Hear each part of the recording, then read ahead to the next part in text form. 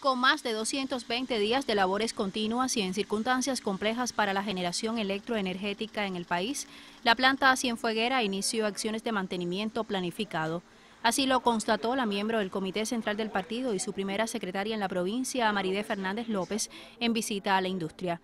Aquí desde el pasado sábado y de manera ininterrumpida se ejecutan los trabajos que constituyen la línea crítica en el bloque número 4. Fundamentalmente en la caldera, que incluyen el lavado de la superficie de intercambio y el escoreo del cenicero del horno, es decir, la extracción de los residuos de la combustión y algunos otros, y corrección de defectos en, las paredes del horno, defectos viejos que estaban, eh, llevaban tiempo por solucionarse y que vamos a aprovechar esta parada para corregirlo. En cuanto a los materiales, no tenemos ningún tipo de dificultad para restituir aquellas piezas que, hoy están eh, dañadas.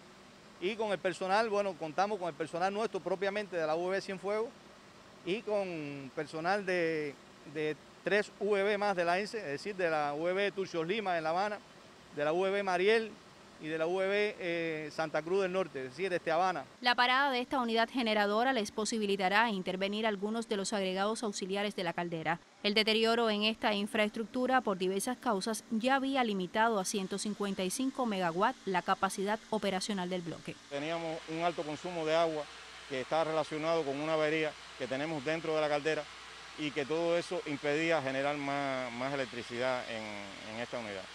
Cuando la unidad se le ejecute todas estas tareas que debemos hacer durante estos 12 días, la unidad eh, debe alcanzar una carga superior a 140 megawatts. Estamos estimando alrededor de 145 megawatts. La termoeléctrica Carlos Manuel de Céspedes, con una disponibilidad superior al 85%, logra ser estable en su generación. Ahora con el nuevo ciclo de mantenimiento en una de sus unidades, la industria cienfueguera pretende ampliar su capacidad operacional e incrementar sus aportes al sistema electroenergético del país. Mayelín del Sol, Sistema Informativo de la Televisión Cubana.